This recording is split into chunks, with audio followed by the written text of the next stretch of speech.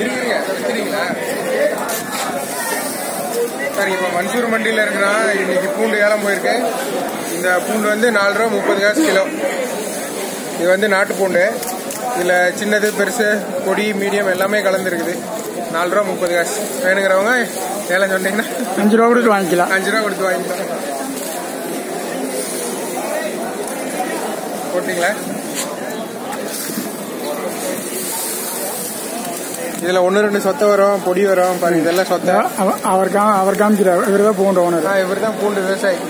பாய் இங்கே கிசானு